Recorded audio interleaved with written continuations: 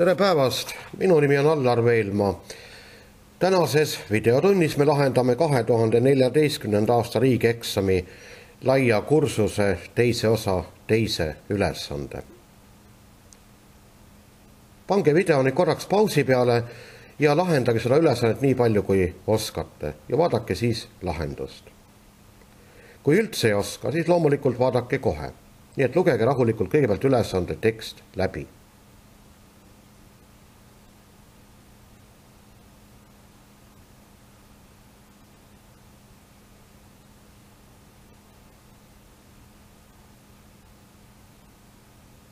no kui te nüüd selle teksti olete läbi lugenud, siis te ilmselt saite aru, et meil on tegemist sirgega, mis X telge lõikab punktis A.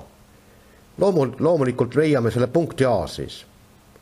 nüüd, kui sirge lõikab X telge, siis selles kohas Y koordinaat on null. ja kui Y-i asendame nulliga, siis saame ju X-i välja arvutada ja järelikult see punkt mida siin küsitakse, on siis koordinaatidega kaks ja null. nii et see punkt on meil käes. nüüd sirget D, see on juba uus sirge, läbib punkti A. no selle punkti me just äsja leidsime. ja peab olema siis selle antud sirgega risti. vaadake, ristuvate sirgete tõusude korrutis on miinus üks. sellel antud sirge tõus on null koma viis järelikult otsitava sirge tõus on miinus kaks. nüüd on meil siis see sirget D antud punktiga A ja tõusuga miinus kaks. punkti ja tõusuga määratud sirge. nii et nüüd läheb siit päris kiiresti see lugu. Te võite vahepeal ka video panna pausile jällegi, et oleks võimalik siis veel kord üle vaadata. punkt näete on kaks ja null ja tõus on miinus kaks. nii et asendasime siis sirge võrrandisse kõik vaja olemasolevad jupid siis. nii et näete, see sirge on meil leitud. nii, nüüd edasi siis punkt B. näete, see sirge lõikab Y telge, aga kui ta Y telge lõikab, siis loomulikult selle koha peal on x-i väärtus null ja punkt B on koordinaatidega null ja neli.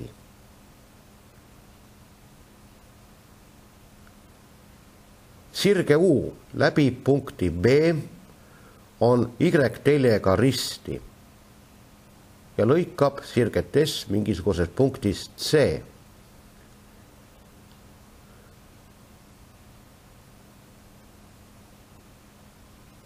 sirge U-võrrand on nüüd, no see on nüüd kõige lihtsam, kuna ta on Y-teljega risti, siis on ta X-teljega paralleelne. ja vaadake punkt C, see on nüüd sirget Y on neli ja Y on siis null koma viis miinus üks, null koma viis X-i miinus üks, lõikepunkt. Y-i asemele panen nelja ja arvutan X-i välja, millest ma saan, et X on kümme. punkt C on siis koordinaatidega kümme ja neli ja me tegime siin ka pildi, nii et näete, siin on pilt tehtud siis nende sirgete kohta ja nende punktide kohta, nii et seda joonist nüüd vaadake otseselt ilmselt teil vaja ei olnud ülesandes, kas ülesande tekstis, vaadake eespoolt, kas oli öeldud, et tuleks siis ka joonist teha, aga see joonis meid abistab pärast. nii et näete meil on siis need punktid A, B, C olemas siin nüüd. ja näete, tekkis siia siis selline kolmnurk meil. ja vaatame edasi, mida siis meie käest tahetakse. nii, koostage kolmnurga abc ümber ringjoone võrrand, ahaa, nii et nüüd läheb asi siis põnevaks. me peame nüüd meelde tuletama, kus paikneb kolmnurga ümber ringjoone keskpunkt. aga see ülesanne meie jaoks praegu suhteliselt lihtne, vaadake, see kolmnurk abc on ju täisnurkne. kui on täisnurkne kolmnurk, siis ümber ringi, ringjoone keskpunkt paikneb hüpotenuusi keskpunktis. muidu peaks võtma ju siis külgede keskrist sirgete lõikepunkti, aga praegusel juhul need keskristsirged lõikuvadki hüpotenuusi keskpunktis, nii et see järelikult see keskpunkt on siis koordinaatidega x on viis ja y on neli.